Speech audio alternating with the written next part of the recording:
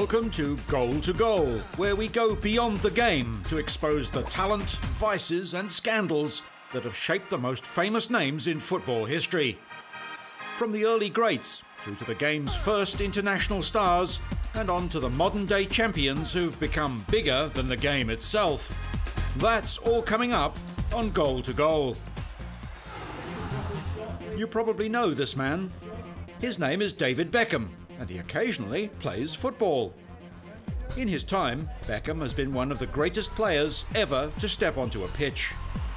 But his pinpoint crosses, immaculate passing, and ability to score wonder goals from free kicks are only a minor part of Beckham, the star. The things that have always been said about me has never affected my football, and that's the way it'll always be. Nobody was particularly surprised when Becks moved to America with a $250 million price tag. David Beckham! I was only trying to teach an old dog new tricks. Fans were even less surprised when he and his pop star wife Victoria, aka Posh, started turning up at Hollywood premieres. It's what the Beckhams were born for, both David and his wife. David Beckham is as much about his cutting edge tattoos, his hairstyle, his chiseled good looks, and sponsorship potential as he is about on field feats. Now, whatever anyone thinks about an England captain having a hairstyle, then you know it's, it's, it's what you actually do on the pitch. I think rather than what you actually wear or what you, what you actually look like. In this respect, he remains the poster boy of everything that is good and bad about modern football. Sure, he can play, but the total package moves far beyond that fact. Look at his fortune, his brand. From the range of hairstyles mimicked the world over by adoring wannabes, to the tattoos, the fashion spreads, the commercials, and the clothes horse, right alongside his glamorous Spice Girl wife. Beckham has pushed the concept of footballer as Hollywood star further than any player before him. His bank manager loves him for it. While football has always had its big names, celebrity footballers are a relatively recent phenomenon. In this episode, we look at the evolution of star power within football and marvel at players whose sheer charisma and image have become every bit as important as their on field genius. But sadly, the notion the bigger they are, the harder they fall often proves true. It's been the case for some of football's greatest names, like George Best, Maradona, who've crashed spectacularly once they've stepped off the pitch. One thing nearly all football icons have in common is that they know how to find the back of the net. Even before the World Game was televised, it was the goal scorers who captured the imagination of fans everywhere. This was especially true in the 1920s. But of all the great goal poachers from that time, one name stands above all others Dixie Dean. Fans marvelled at his ball control. Here's a trick. He backheels the ball into goal. Too bad the goalkeeper didn't see that. Let's show him what really happened in slow motion. The ball is trapped. His foot passes over it. And there's no need to look round, Dixie. You know where that ball's gone. In an astonishing 16 year career, Dean scored almost 500 goals. Blessed with incredible strength and uncanny goal sense, he mesmerised rivals with his aerial ability. Almost half his goals came from headers, a skill he perfected by practicing with a medicine ball. The Liverpool boys are happy too, because Dixie Dean pushes one through with his head. Starting out with local club Tranmere Rovers, the 16 year old Dean was paid £4, 5 shillings a week. It was the standard fee for a third division player at the time, but a pittance compared with today's mega salaries. After a successful 1924 25 season, he transferred to Everton for £3,000. The papers had a field day. It was a record fee for signing a young player just 18 years old. He proved to be a bargain. In Everton's championship winning year of 1927 28, 21 year old Dean scored 60 goals from just 39 appearances. It's still the season record goal haul for English football. Dean led his team to another First Division title and a berth in the 1933 FA Cup final against Lancashire rivals Manchester City. Lancashire, here's to Lancashire. And may that cup stay in Lancashire. If Everton don't win it, may another Lancashire club win it. Here, here. Everton eventually triumphed 3 0, with Dean scoring the team's second goal. There's Dean scoring his goal. Langford lying flat on his face, a disappointed man in a disappointing team.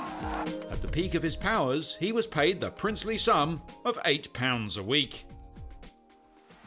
If Dean was the champion footballer of the 1920s and 30s, England's greatest wartime player was undoubtedly Stanley Matthews. The son of a featherweight boxer, Matthews was born in Stoke-on-Trent and joined the local club, Stoke City, straight from school. Light and stringy, Matthews played on the right wing. It didn't take long for the young player to make his mark on the game and change the way it is played forever. His method was to run straight at defenders. He'd throw his hips in one direction and his body in the other, and then roar off with the ball seemingly tied to his boot. It used to terrify the left backs. Every club has a hard luck story. Stokes is that it assembled its greatest team ever on the eve of the war against Germany. Stanley Matthews, a dazzling display from the ageless wizard who 19 years ago first played against Germany. During the war, Matthews served in the Air Force, but his reputation was so great that he was released from duty every now and then to play for England. Even Winston Churchill was a fan. Matthews crosses the ball, and Roy Bentley heads it high into the net. Performances like this one in a 3 1 win over Germany at Wembley made Matthews a national hero. For Matthews, the maestro, the magnificent, it must rank as one of the greatest games of his brilliant career but he always remained a gentleman. Pele called him the man who taught us how football should be played. In more than 700 games, Matthews was never sent off and never even received a yellow card. He was humble in victory and defeat. I'm told that by one or two people that I was the match winner. As a matter of fact, I don't believe that for the simple reason we have here 11 match winners.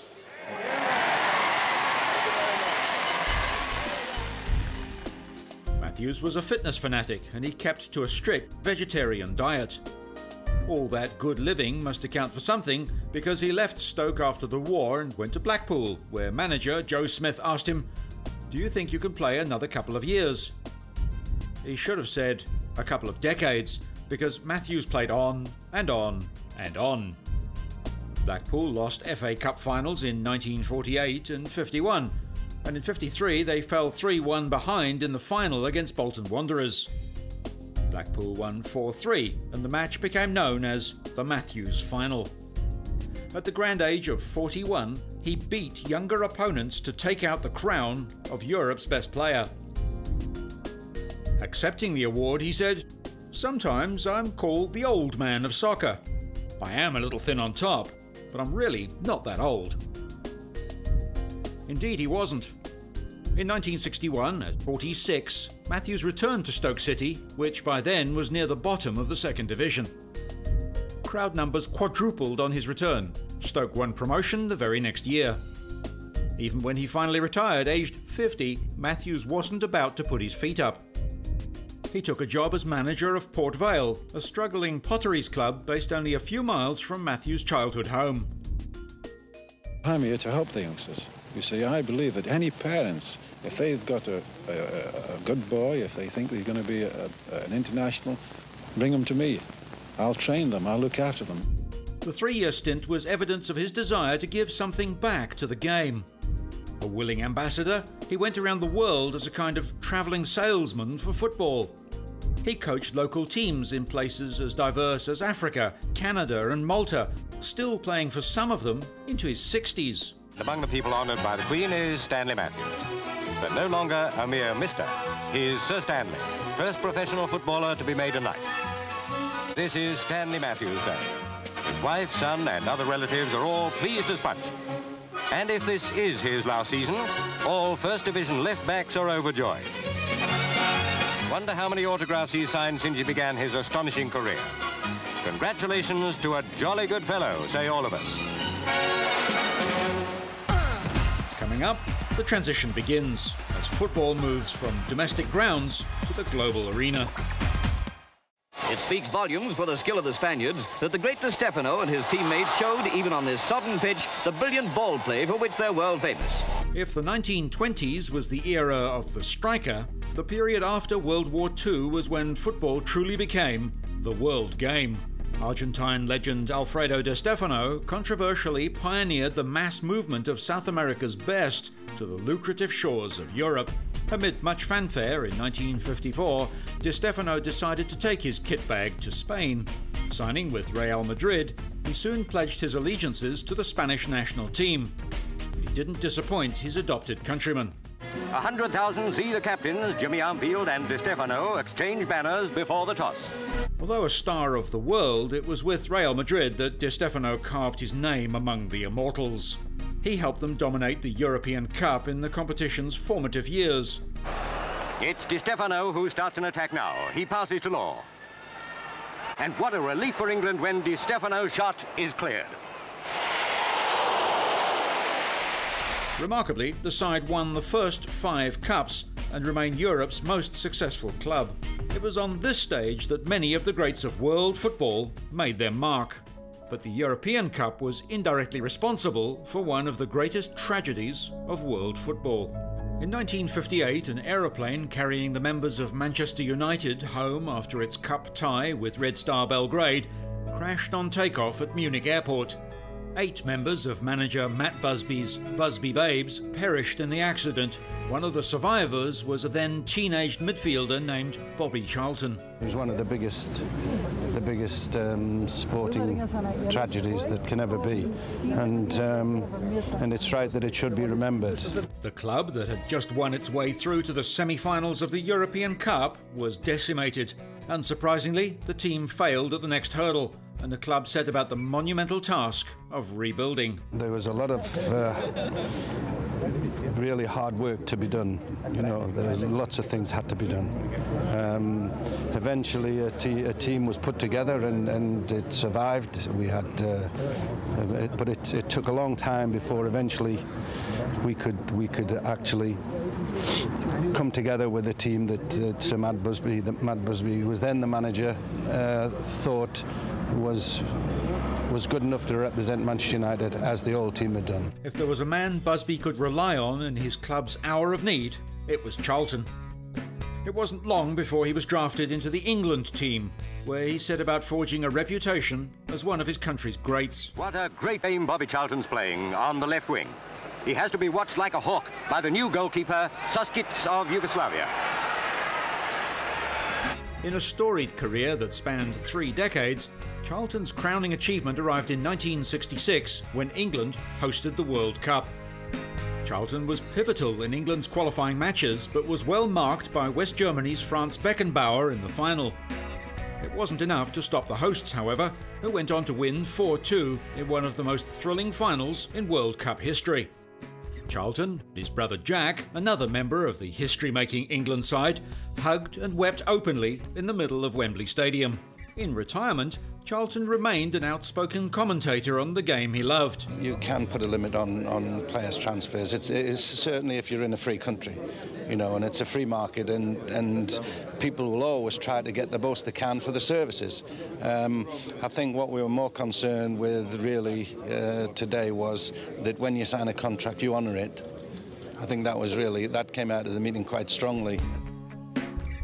He always had the passionate English fans' interests at heart.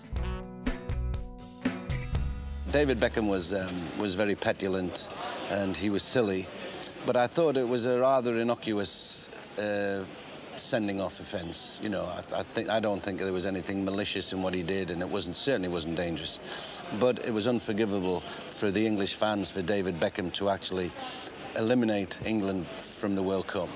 For Charlton, the World Cup in England was an experience that would never be bettered. Reward comes at last. Charlton shoots, Soskic fumbles, and now watch Jimmy Greaves, three minutes from full time.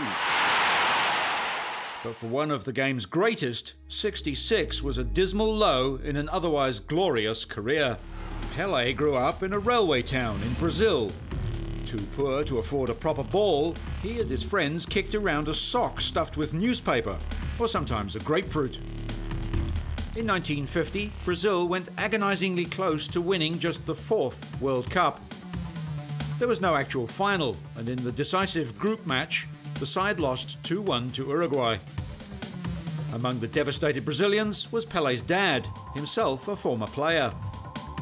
My father used to say, oh, man should be strong, man doesn't cry. Then I saw uh, my, uh, my father cry when Brazil lost the game. Then I told him, father, no, uh, don't worry, I'm gonna win one World Cup for you. Don't worry, I was nine years, nine to 10 years old. He needed just eight years to fulfill his promise. 1958, he guided Brazil to the World Cup final, despite not having much idea what he was in for. In the final, he scored twice in the 5 2 win over Sweden and went on to help Brazil win two more World Cups.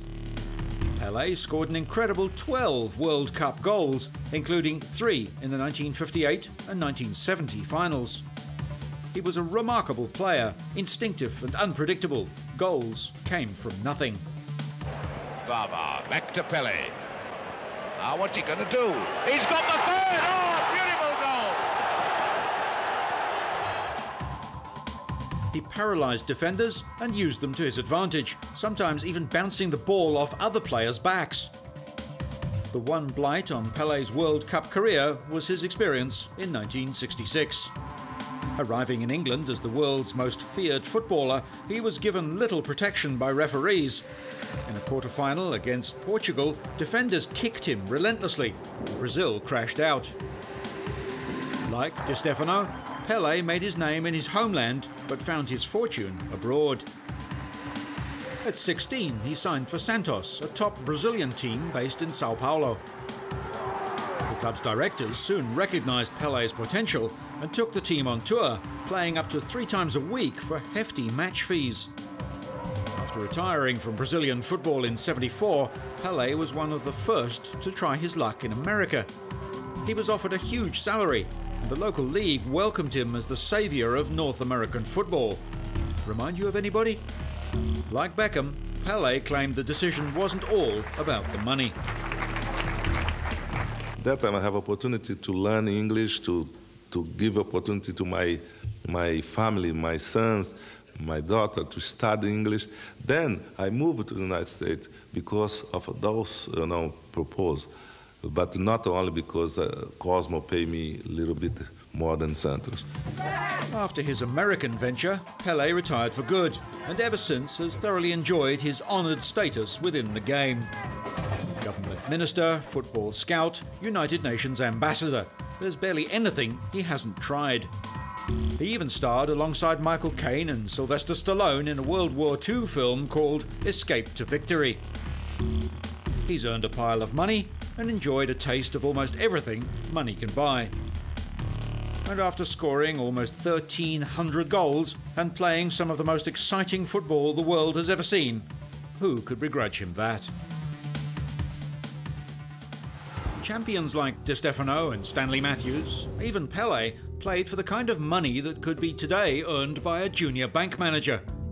But in 1961, the English FA abolished the maximum wage. Suddenly, clubs could pay players whatever they could afford. By the time Dutch legend Johan Cruyff arrived on the scene, football and massive piles of money went together like Bobby Charlton and comb overs. Cruyff's brilliance was matched by an insatiable appetite to improve his game.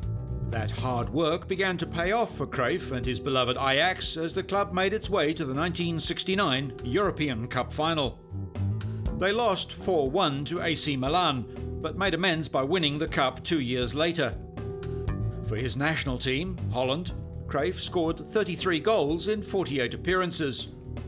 All the while, he was an entertainer Crowds and sponsors loved him. Barcelona came knocking for Cruyff in 1973. They paid Ajax a whopping £920,000. It was a world record, raising the bar for a new era in monster transfer fees. Despite the massive price tag, Cruyff earned his money.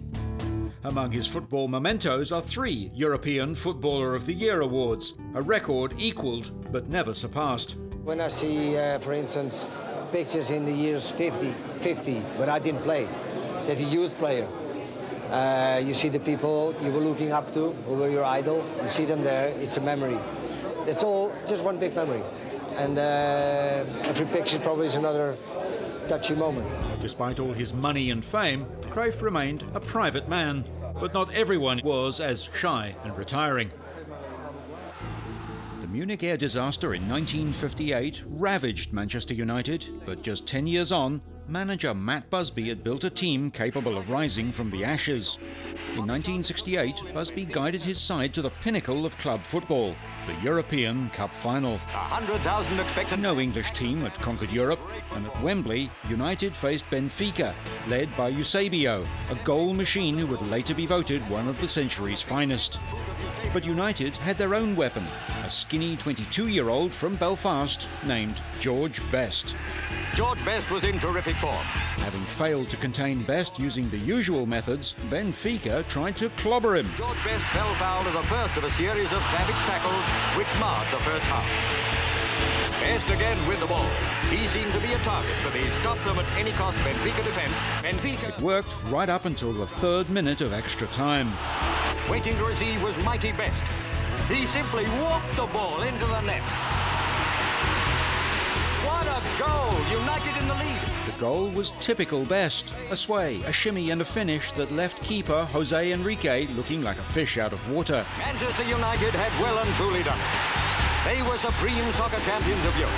Man United won 4-1 and Best was crowned European Footballer of the Year. What a match! What a team! Charlton, Stepney, Brennan, Stiles, Best were proving the He was United's saviour and this was his finest hour. But Best was more than a footballer. When scout Bob Bishop discovered him, aged 15, his telegram to Matt Busby read simply, I think I've found you a genius. The only question was whether he was talking about Best's footballing ability or his party stamina. Best debuted for Manchester United in 1963. A year later, the BBC launched a weekly TV programme called Match of the Day. Unlike earlier champions, who most fans knew only from pictures in the papers, Best's goals and good looks were broadcast to millions. Television made him football's first superstar, a playboy genius. He was sought after for everything from appearances on Top of the Pops to this charity match against a team of models. And cut a dash through the female defence, only to find that George Best had changed sides. The press soon dubbed him the fifth Beatle. He partied harder than the other four put together. Later, he would tell people, I spent a lot on booze, birds, and fast cars. The rest I just squandered. Among his girlfriends were reportedly four Miss Worlds. A hotel bellboy found him entertaining one of them on a bed covered with his casino winnings. But it wasn't all tiaras and jackpots. It took me a long time to realise, you know, who the hangers-on were and, and, who weren't. And uh, I enjoyed, uh, I did enjoy being the centre of attraction, uh, but uh, it became it became a monster. You know, when you can't go outside your front door and uh, people want to cause trouble and start arguments with you and fights and stuff like that, you've, uh, which you should walk away from. I find it hard to do that as well. At 26, only four years after that famous night at Wembley, he decided to leave Manchester United. I feel now that I, I can't play as I, I could before. So uh, I don't want to play uh, a lower standard than I'm used to myself. And uh, I don't think I can play to a high standard. He made comebacks with Fulham and then in the United States, but his football heyday was over. By the end of his career, he was gambling uncontrollably and had developed a serious alcohol addiction. It stemmed from his continual desire to live up to his name and be the best. I wanted to be the best trainer, I wanted to be the best player, and I wanted to be the best drinker, which isn't very smart when you're a professional athlete. In 1984, he spent Christmas in prison after being convicted of drink driving. Gambling sent him bankrupt, and he sold his European Footballer of the Year award. Best went on to become a TV pundit and courted more controversy. He didn't think much of David Beckham, who went on to become everything that Best wasn't. Married twice, Best had a son, Callum, who spurned football for a modelling career and his own share of tabloid scandals, including a reported fling with actress Lindsay Lohan. In 2002, Best received a liver transplant but continued to drink, attracting widespread criticism. Three years later, he suffered complications following his transplant and then multiple organ failure. He died aged 59. My father has passed away. Not only have I lost my dad, but we've all lost a wonderful man. With Best's passing, football mourned one of its most brilliant sons and its first celebrity. Without question, he was an incredibly gifted and talented and courageous player for Manchester United. I think his parents with George, he was the original superstar and he was such a, a well-mannered, humble person. Lovely lad, super lad. Coming up, Diego Armando Maradona. Argentina is a nation of 33 million Catholics, but to many Argentine football fans, there is only one God. His name is Diego Armando Maradona. Maradona was a kid from a Buenos Aires slum who became a superstar. He was just 5 foot 5, but on a football field he stood taller than anyone. As Maradona began his career with local club Argentinos Juniors, Argentinian football was exploding. The national side won its first World Cup in 1978. Maradona's low centre of gravity and physical bulk made him tough to shift from the ball. His compact style gave him immaculate control. With explosive pace, his sense of team play, and a remarkable feel for strategy, he was soon worshipped by fans, sometimes literally.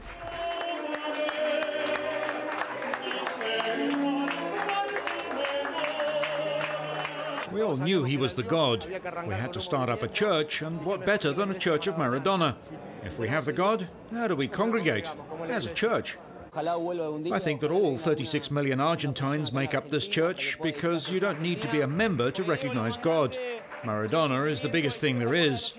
Those who like soccer are fans of Maradona because he's the biggest thing there is. In 1986, the World Cup moved to Mexico. Maradona was the tournament's outstanding player. He scored a wonder goal against England.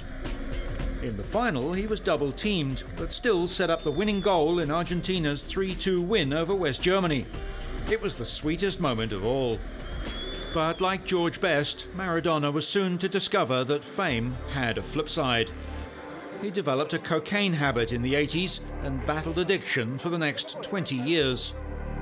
Although he starred in Europe with Barcelona and Napoli, by his retirement he was in and out of detox. His weight ballooned to the point that newspaper cartoons compared him to a beached whale. The same media that helped make Maradona a god began to hound him. He once fired an air rifle at journalists from a building on his property. In April 2004, a cocaine overdose led to a massive heart attack.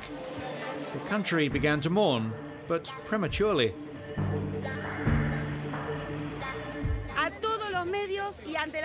To the media, and in the face of some newspaper reports, we inform you that Diego Armando Maradona is clinically stable, with no complications whatsoever regarding his health, and he continues on the established treatment plan. A stomach stapling followed, and Maradona began his second life. He launched a top rating television show called La Noche del Diez, the night of the number 10. Guests included Pele, with whom Maradona buried a long standing rift, and Cuban communist leader Fidel Castro. It won its ratings every single night. Never far from controversy, Maradona remained a cheerleader for the national team.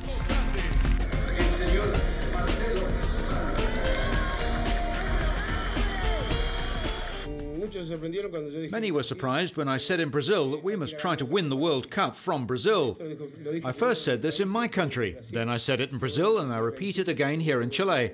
I'm going to say it wherever I'm asked. We have to go and compete against Brazil. Brazil is the clear favourite to win the World Cup. And despite years as a press target, his legion of fans never thinned.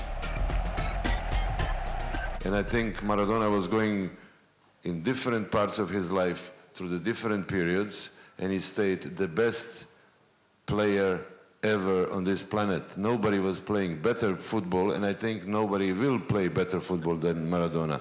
And this is important story about this man. Television and tabloid newspapers love to make heroes and then devour them. And Maradona wasn't alone in playing both hero and villain. In Italy, no player polarized fans as much as Roberto Baggio. He burst onto the international scene at the 1990 World Cup, which Italy hosted. Baggio scored twice, including the goal of the tournament. Italy fell in the semis to an Argentine side led by Diego Maradona, but Baggio's legend was already beginning. Fans fought to get near him. Packs of photographers and reporters followed him wherever he went. When the next World Cup rolled around in 1994, Baggio was pocketing a wage of $5.3 million. He was 27 and playing at his peak. In the United States, Brazil were favourites, but Italy knew they had a chance. The chances of winning are good. We're looking at winning. With this type of competition, you need a little luck and you need players who can stay in form for a month. Our league is very hard physically, and it's not always easy to finish in a strong physical condition. Despite this, Italy is a team that must work towards victory. Baggio was superb, scoring five goals, but in the final against Brazil, he missed a penalty in the crucial shootout. The press tore him apart. Many fans decided he'd ruined it all. Baggio himself spent much of the next four years trying to make amends. It's very important to be here because I think it's my last chance and so I really care about my selection. It's already a great success just to be here.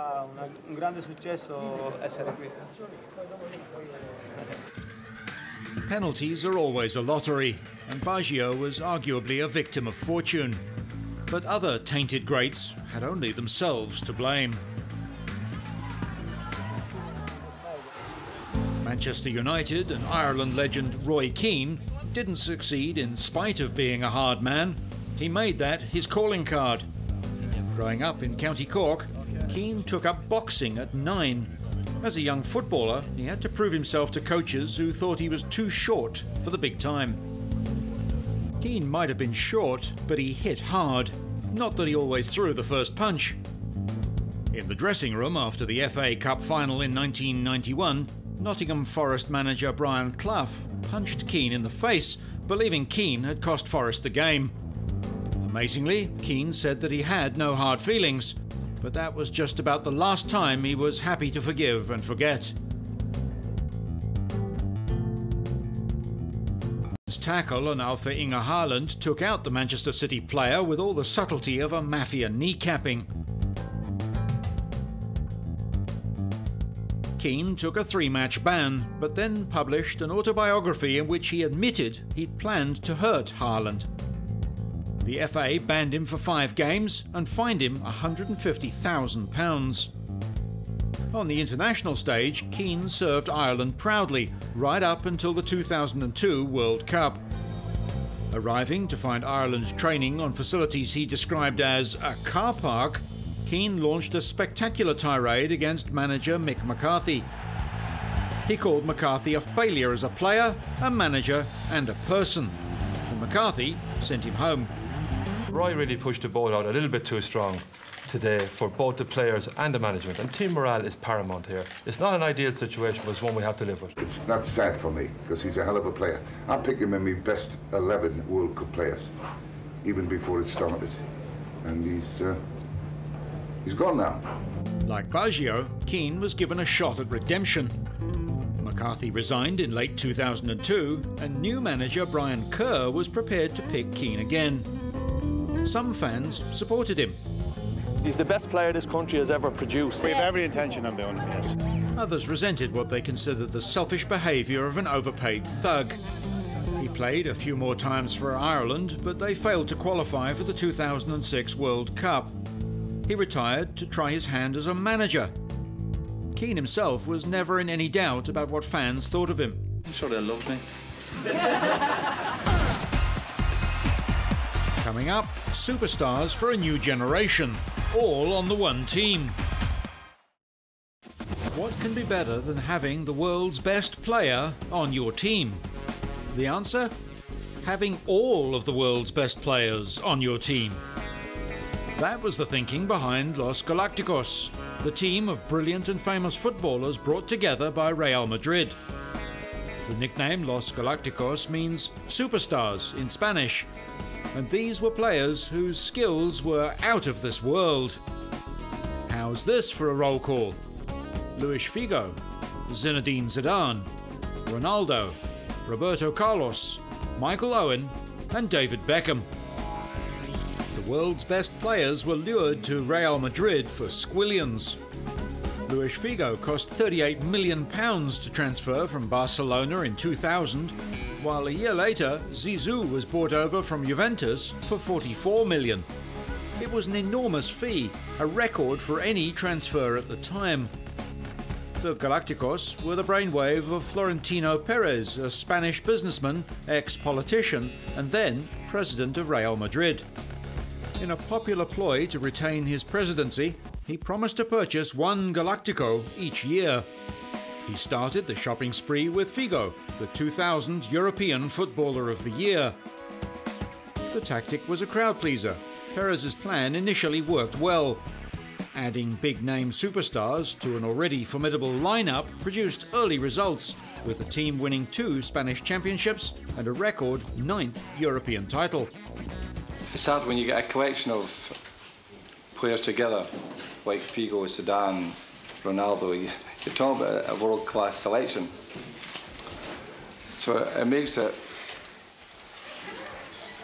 incredibly competitive competition there. However, after their early successes, even Real's dazzling lineup of superstars began to fade. They weren't able to take out the big matches and even had to endure a bleak three year period where they couldn't bring home one major trophy. The critics had a field day. Many blamed Perez for simply buying name players without considering whether they were right for the team or not. Showy midfielders and strikers were favoured, while the defence line grew weak. Beckham was the prime example. Everybody agreed he wasn't needed by the team in a playing sense, but he was there to give a huge boost to Real Madrid's image, especially in the Asian markets. There was a view that he was signed for the number of shirts he would sell rather than the number of goals he would create. Despite the doubters, the club was adamant the signing of Beckham would help it become an unbeatable force. But it was a false hope. The Galacticos were heading to Earth with a thump. Off field, tensions led to the sacking of the coach, four managers, and four football directors. But none of these moves changed the fortunes on the pitch. In 2005 6, Real Madrid unceremoniously dropped out of the UEFA Champions League in the round of 16 without scoring a goal. It was the end of an era. The Galacticos nickname had become a joke. Some say that the Galacticos were the natural result of the commercialisation of football, a case of style over strategy. Wingman Steve McManaman is more brutal. He described what happened as the Disneyfication of Real Madrid. In the end, the Galacticos experiment was a marketing dream, but a fan's nightmare. Though they looked good on paper, amazingly, this team of champions never became a champion team. Was a stern lesson for other clubs who have ambitious presidents with deep pockets. Outside the Galacticos, only one player really spends it like Beckham. He's Ronaldo de Assis Moreira, but you'll know him as Ronaldinho. In his home country, Brazil, Ronaldinho advertises just about everything laptops, chewing gum, crisps, and photocopiers. Overseas, he's as well known for his magical skills on the football pitch as the adverts he shot for the likes of Pepsi and Nike. When you are a kid, it's easy. You are not afraid to try, to dare. You do it just because you like it.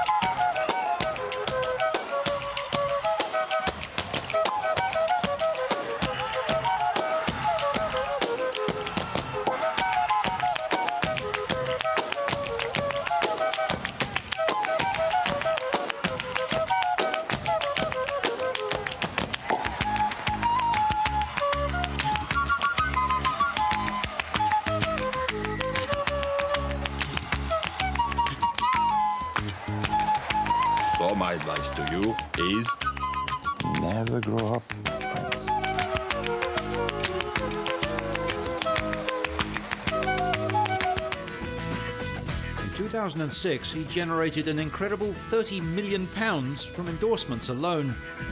Add to that an £8 million annual salary, and you're looking at a footballer with truly massive spending power. Of course, you don't get this kind of money thrown at you without being able to play. From his early days in Europe with Paris Saint Germain, Ronaldinho was compared with Pele and Maradona. First of all, thanks very much for this compliment. My dream has always been to follow the steps of the best players.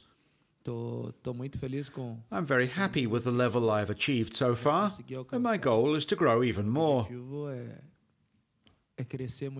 I'm still young and have a lot to learn, but I'm very pleased with this route I'm following, and I want to go even further, following the steps of my great idols, great players. Mixing brilliant control with outlandish tricks that reminded some fans of Johan Cruyff, Ronaldinho was poached by Barcelona in 2003. He always seemed to turn it on in the big matches, such as Barcelona's big La Liga clash with bitter rivals Real Madrid. So well did Ronaldinho perform at the Bernabeu, Madrid fans gave him a standing ovation. It's a different emotion. It's not something you would expect because they are our great rivals. To see the crowd from your biggest rival applauding you is something significant in a player's career. It's even shocking to a certain point. But in the end, it was something that made me really happy and gives me extra motivation. I hope, with God's help, I can repeat everything I did in the last derby and that Real Madrid fans can applaud me again. Terrifyingly for defenders, Ronaldinho reckons his skills are getting better. And if he hasn't yet played his best on the football pitch, there's no reason to believe he's reached his peak as a titan of marketing. I have a lot to improve. I'm a young player, so my goal is to improve in all areas. I'm happy with my current form, but I know I can improve more. So that's my goal to get better in all aspects, to improve my game and make football history. As supernovas such as Maradona, Beckham, Zidane, even Ronaldinho fade, football renews itself. Fans need never fear our game's ability to find new stars somewhere on a street or a nondescript sports field in South America or Africa or Europe, or even Australia or Japan, the stars of tomorrow are honing their skills. Today, football need only look as far as players such as Wayne Rooney, Cristiano Ronaldo, and Lionel Messi. Ronaldo was such a prodigious talent that he turned out for an amateur team in his native Portugal at eight years old. Now, plying his trade for Manchester United, he's equally adept with either foot, meaning he can switch wings to drive opponents crazy. His sublime skills have seen him named Portuguese captain at the age of 22 and continue to dazzle English Premier League opponents. He joined United to replace none other than David Beckham, taking over the departed English captain's right wing, and was taken aback to be handed the number 7 Guernsey by manager Sir Alex Ferguson. Ronaldo didn't want the number made famous by George Best, Brian Robson, and Eric Cantona, but was told he would live up to it, and he has.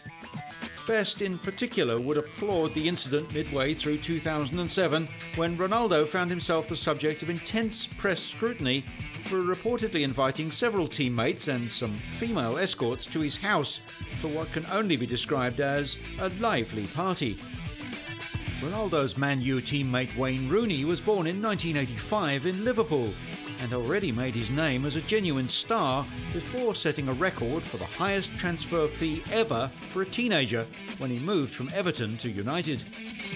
Rooney is one of the game's most exciting talents, always threatening the goal and slicing opposition defences with explosive runs and precocious vision. His talent is matched by his passion, both on and off the pitch. From the moment he became the youngest player to score in the Premier League at just 17, Rooney has been a marked man, and his temper has seen him sent off repeatedly in all levels of football. Off the pitch, he admitted to visiting prostitutes, a decision he said he regretted. But none of this has hampered his marketability. Rooney is said to have sponsorship deals worth something like 46 million euro, led by deals with Nike, Nokia, and Coke. Lionel Messi could not have had a more different start to his career.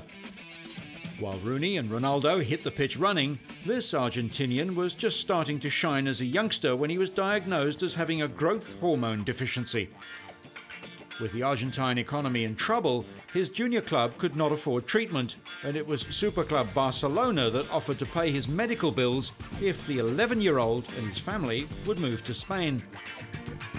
Less than a decade later, Barcelona's investment has paid off, with Messi starring for the team, as well as becoming the youngest player ever to represent Argentina at a World Cup in 2006.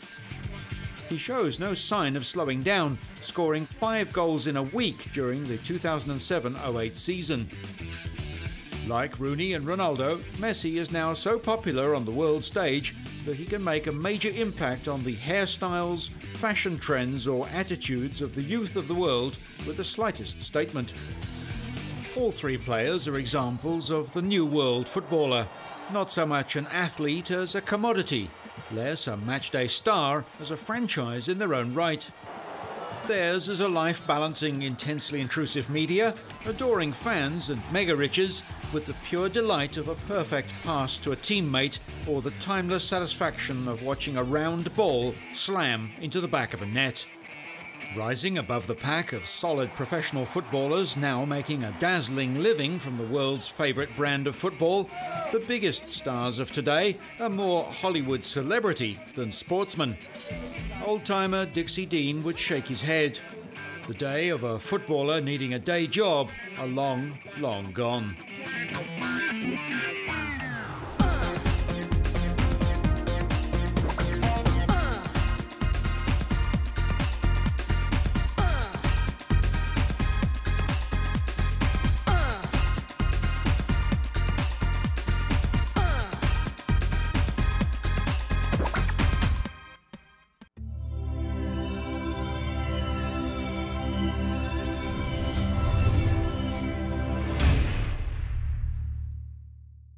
Footballer as Hollywood star further than any player before him. His bank manager loves him for it. While football has always had its big names, celebrity footballers are a relatively recent phenomenon. In this episode, we look at the evolution of star power within football and marvel at players whose sheer charisma and image have become every bit as important as their on field genius. But sadly, the notion the bigger they are, the harder they fall often proves true. It's been the case for some of football's greatest names, like George Best, Maradona, who've crashed spectacularly once they've stepped off the pitch. One thing nearly all football icons have in common is that they know how to find the back of the net. Even before the World Game was televised, it was the goal scorers who captured the imagination of fans everywhere. This was especially true in the 1920s. But of all the great goal poachers from that time, one name stands above all others Dixie Dean. Fans marvelled at his ball control. Here's a trick. He backheels the ball into goal. Too bad the goalkeeper didn't see that. Let's show him what really happened in slow motion. The ball is trapped. His foot passes over it. And there's no need to look round, Dixie. You know where that ball's gone. In an astonishing 16 year career, Dean scored almost 500 goals. Blessed with incredible strength and uncanny goal sense, he mesmerised rivals with his aerial ability. Almost half his goals came from headers, a skill he perfected by practicing with a medicine ball. The Liverpool boys are happy too, because Dixie Dean pushes one through with his head. Starting out with local club Tranmere Rovers, the 16 year old Dean was paid £4, 5 shillings a week. It was the standard fee for a third division player at the time, but a pittance compared with today's mega salaries. After a successful 1924-25 season, he transferred to Everton for £3,000. The papers had a field day. It was a record fee for signing a young player just 18 years old. He proved to be a bargain. Everton's championship winning year of 1927 28, 21 year old Dean scored 60 goals from just 39 appearances. It's still the season record goal haul for English football. Dean led his team to another First Division title and a berth in the 19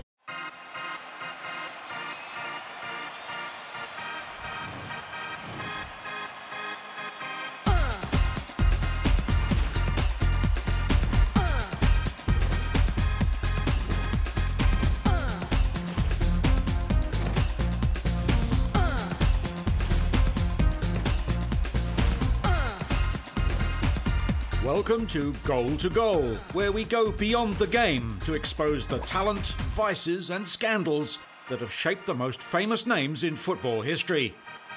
From the early greats through to the game's first international stars and on to the modern day champions who've become bigger than the game itself. That's all coming up on Goal to Goal. You probably know this man. His name is David Beckham and he occasionally plays football. In his time, Beckham has been one of the greatest players ever to step onto a pitch. But his pinpoint crosses, immaculate passing, and ability to score wonder goals from free kicks are only a minor part of Beckham, the star. The things that have always been said about me has never affected my football, and that's the way it'll always be. Nobody was particularly surprised when Becks moved to America with a $250 million price tag. David Beckham! I was only trying to teach an old dog new tricks. Fans were even less surprised when he and his pop star wife Victoria, aka Posh, started turning up at Hollywood premieres. It's what the Beckhams were born for, both David and his wife. David Beckham is as much about his cutting edge tattoos, his hairstyle, his chiseled good looks, and sponsorship potential as he is about on field feats.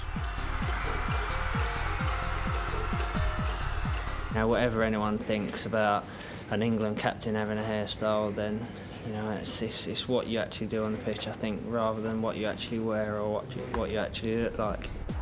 In this respect, he remains the poster boy of everything that is good and bad about modern football. Sure, he can play, but the total package moves far beyond that fact. Look at his fortune, his brand. From the range of hairstyles mimicked the world over by adoring wannabes, to the tattoos, the fashion spreads, the commercials, and the clothes horse, right alongside his glamorous Spice Girl wife. Beckham has pushed the concept of who was when football truly became the world game. Argentine legend Alfredo Di Stefano controversially pioneered the mass movement of South America's best to the lucrative shores of Europe. Amid much fanfare in 1954, Di Stefano decided to take his kit bag to Spain. Signing with Real Madrid, he soon pledged his allegiances to the Spanish national team. He didn't disappoint his adopted countrymen. 100,000 see the captains, Jimmy Armfield and Di Stefano, exchange banners before the toss. Although a star of the world, it was with Real Madrid that Di Stefano carved his name among the immortals. He helped them dominate the European Cup in the competition's formative years. It's Di Stefano who starts an attack now. He passes to Law. And what a relief for England when Di Stefano's shot is cleared. Remarkably, the side won the first five cups and remained Europe's most successful club. It was on this stage that many of the greats of world football made their mark. But the European Cup was indirectly responsible for one of the greatest tragedies of world football. In 1958, an aeroplane carrying the members of Manchester United home after its cup tie with Red Star Belgrade crashed on takeoff at Munich Airport. Eight members of manager Matt Busby's Busby Babes perished in the accident. One of the survivors was a then teenaged midfielder named Bobby Charlton. It was one of the biggest, the biggest um, sporting tragedies that can ever be, and um, and it's right that it should be remembered. The club that had just won its way through to the semi-finals of the European Cup was decimated. Unsurprisingly, the team failed at the next hurdle, and the club set about the monumental task of rebuilding. There was a lot of uh, really hard work to be done. You know, lots of things had to be done. Um, eventually, a, te- a, team was put together and, and it survived. We had, uh, it, but it, it took a long time before eventually we could we could actually come together with a team that, that Sir Matt Busby, that Matt Busby, who was then the manager, uh, thought was was good enough to represent Manchester United as the old team had done. If there was a man Busby could rely on in his club's hour of need, it was Charlton. It wasn't long before he was drafted into the England team, where he set about forging a reputation as one of his country's greats. What a great game Bobby Charlton's playing on the left wing. He has to be watched like a hawk by the new goal. All that good living must account for something because he left Stoke after the war and went to Blackpool, where manager Joe Smith asked him, Do you think you can play another couple of years? He should have said a couple of decades because Matthews played on and on and on. Blackpool lost FA Cup finals in 1948 and 51, and in 53 they fell 3 1 behind in the final against Bolton Wanderers. Blackpool won 4 3, and the match became known as the Matthews Final. At the grand age of 41, he beat younger opponents to take out the crown of Europe's best player. Accepting the award, he said, Sometimes I'm called the old man of soccer. I am a little thin on top, but I'm really not that old. Indeed, he wasn't. In 1961, at 46, Matthews returned to Stoke City, which by then was near the bottom of the second division. Crowd numbers quadrupled on his return. Stoke won promotion the very next year. Even when he finally retired, aged 50, Matthews wasn't about to put his feet up. He took a job as manager of Port Vale, a struggling potteries club based only a few miles from Matthews' childhood home. I'm here to help the youngsters. You see, I believe that any parents, if they've got a, a, a good boy, if they think they're going to be a, an international, bring them to me. I'll train them, I'll look after them. The three year stint was evidence of his desire to give something back to the game. A willing ambassador, he went around the world as a kind of travelling salesman for football. He coached local teams in places as diverse as Africa, Canada, and Malta, still playing for some of them into his 60s. Among the people honoured by the Queen is Stanley Matthews, but no longer a mere mister. He is Sir Stanley, first professional footballer to be made a knight. This is Stanley Matthews Day. His wife, son, and other relatives are all pleased as punch. And if this is his last season, all First Division left backs are overjoyed. Wonder how many autographs he's signed since he began his astonishing career. Congratulations to a jolly good fellow, say all of us. Coming up, the transition begins as football moves from domestic grounds to the global arena. It speaks volumes for the skill of the Spaniards that the great Di Stefano and his teammates showed, even on this sodden pitch, the brilliant ball play for which they're world famous. If the 1920s was the era of the striker, the period after World War II 33 FA Cup final against Lancashire rivals Manchester City. Lancashire, here's to Lancashire. And may that cup stay in Lancashire. If Everton don't win it, may another Lancashire club win it. Here, here. Everton eventually triumphed 3 0, with Dean scoring the team's second goal. There's Dean scoring his goal. Langford lying flat on his face, a disappointed man in a disappointing team. At the peak of his powers, he was paid the princely sum of £8 a week. If Dean was the champion footballer of the 1920s and 30s, England's greatest wartime player was undoubtedly Stanley Matthews. The son of a featherweight boxer, Matthews was born in Stoke-on-Trent and joined the local club, Stoke City, straight from school. Light and stringy, Matthews played on the right wing. It didn't take long for the young player to make his mark on the game and change the way it is played forever. His method was to run straight at defenders. He'd throw his hips in one direction and his body in the other, and then roar off with the ball seemingly tied to his boot. It used to terrify the left backs. Every club has a hard luck story. Stokes is that it assembled its greatest team ever on the eve of the war against Germany. Stanley Matthews, a dazzling display from the ageless wizard who 19 years ago first played against Germany.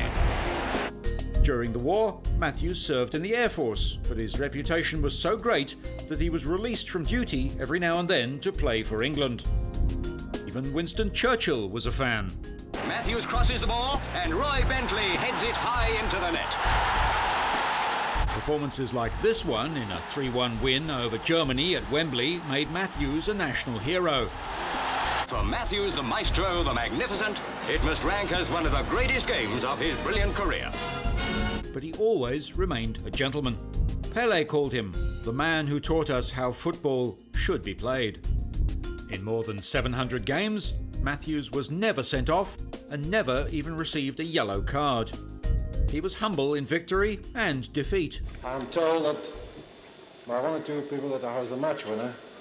As a matter of fact, I don't believe that for the simple reason we have here 11 match winners.